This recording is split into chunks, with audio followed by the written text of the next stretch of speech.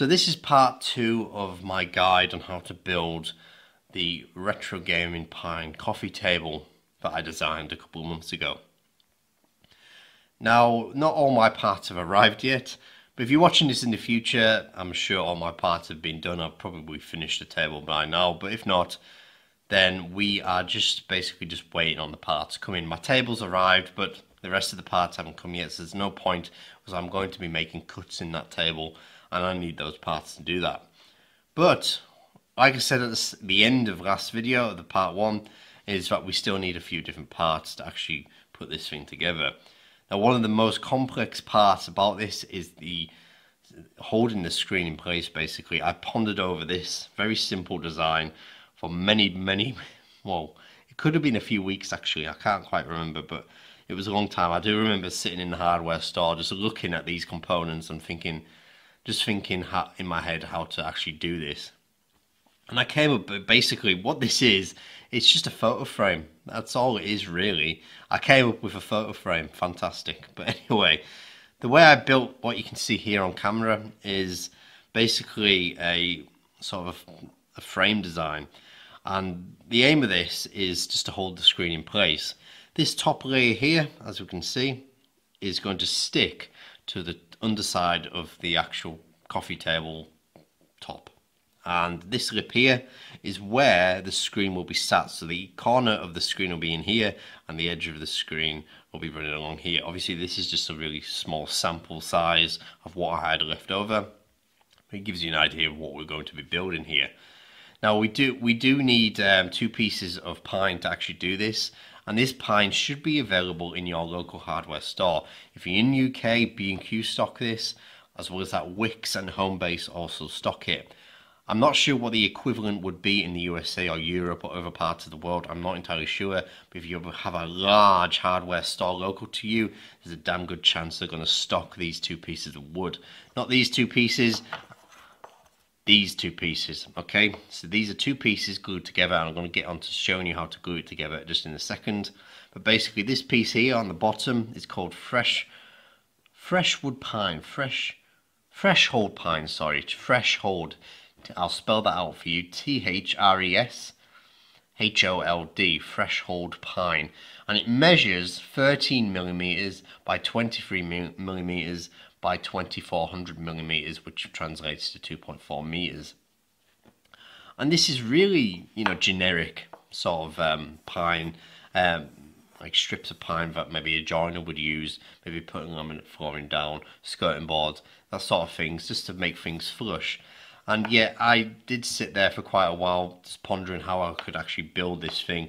And I came up with taking this, attaching it to this on the top and basically building what we have here. Now the piece of wood that is on the is glued onto the top here is called pine strip wood. It's really really generic stuff and you should be able to get it locally to you. You should be able to and yeah this measures 10.5 millimeters by 11 millimeters. And basically they're just glued together. Now the reason we need two is because unfortunately this threshold pine isn't quite deep enough on top which is a shame. I'm sure if you've got some lumberyard custom you could probably have this custom made and just have it all made in one strip. I don't have that privilege unfortunately. So I've had to glue these together to actually make this deep enough. Now it's deep enough so the screen can fit in it it wasn't deep enough. So that's about the thickness of my screen. Actually, it's not, but it's about the same. It's a, it's a couple of millimeters thicker than my screen, and I'll get on to how to actually make it fit nice and tight later on in the series. But yeah, so we just need that depth for the screen basically and these two are going to be glued together with wood glue we're going to need some um, clamps as well to hold it together and this join here is unbelievably strong because I've just used some half decent wood glue. And yeah that's probably a stronger connection to each other than the actual strength of the wood itself. This is very very strong and it holds it to the top of your top of your table very very sturdy. It's as far as I can tell it's the best solution that I could come up with to hold the screen in place. Not only to hold it in place, but to look good as well. You don't just, you don't want big strips of wood holding everything in place because it just looks awful. I've done that in the past. And I don't recommend it, especially since the screen on this thing is going to be in the upright position sometimes. And You're going to be able to see it. So yeah, as well as that, later on when we finally actually build the actual frame because I'm not going to do that in this video I'm just going to show you actually gluing it together because I'm not quite ready yet. Like I said I don't have all parts yet. But you're going to need a miter box. A miter box is basically just a make miter cuts basically and we're going to need 45 degree angles to actually cut the actual frame out. So if you don't have a miter box go out and get one. They're dirt cheap. If you've got a circular saw fantastic or if you're just amazing with cutting wood, then you don't need this explained to you really. But yeah, we're going to be creating a frame from these pieces of uh, pine strip strip wood that we're going to make now. So anyway, let's move over now. Let's glue this thing together. Right, so I'm going to glue this onto the top of here. And I'm going to use some clamps to hold it in place and some half decent wood glue by Evo-Stik.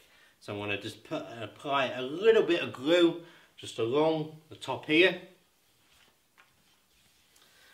And then I'm going to hold it in place.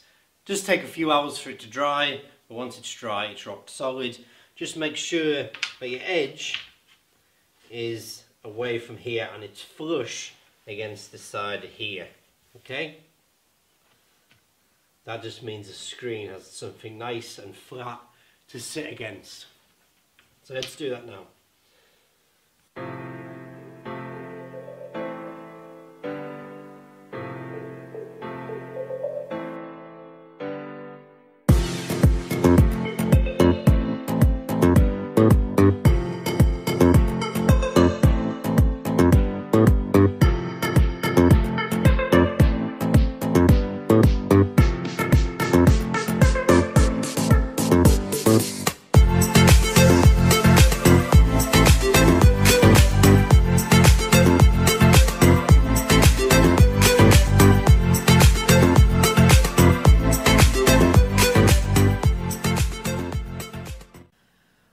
So just a little bit more about the actual screen size and sort of how this works. So the reason I put on that extra bit of pine strip wood was because it wasn't quite deep enough.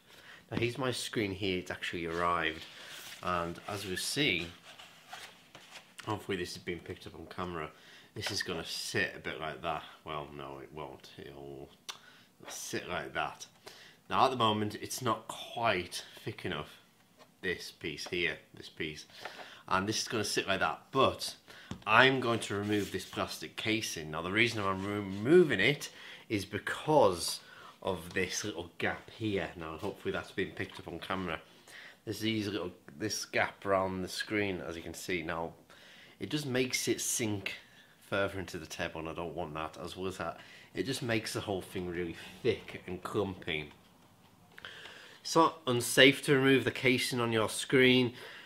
It just makes, uh, because it's earthed anyway, so it doesn't really matter. Uh, and it just makes things a little bit easier, I think. Just be careful when removing the casing at all. But you might have a really, really thin screen.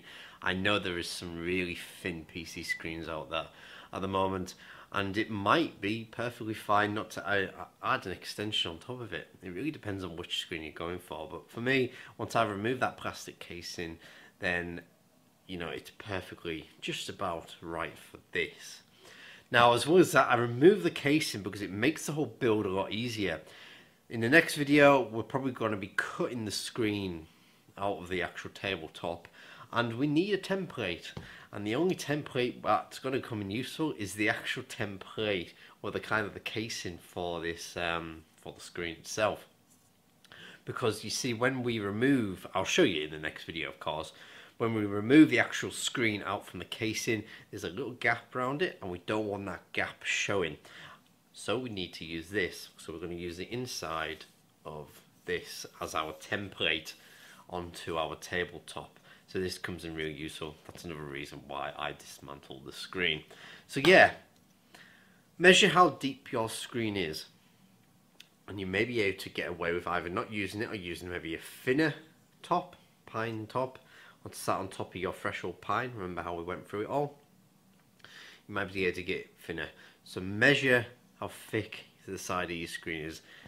Take it apart and then measure how thick it is on the corners.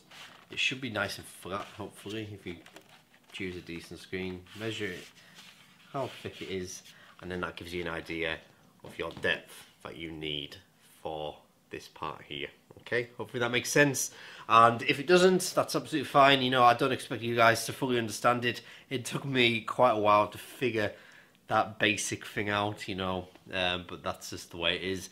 Ask me in the comment section below and I'll do my best to help you and guide you in the best way possible. Um, but really when it boils down to it it is pretty straightforward so just have a think about it. And yeah um, do let me know if you are struggling or not. Anyway, thanks again for watching, and uh, hopefully part three won't be too long in um, to come. Uh, I know all my parts are pretty much here now.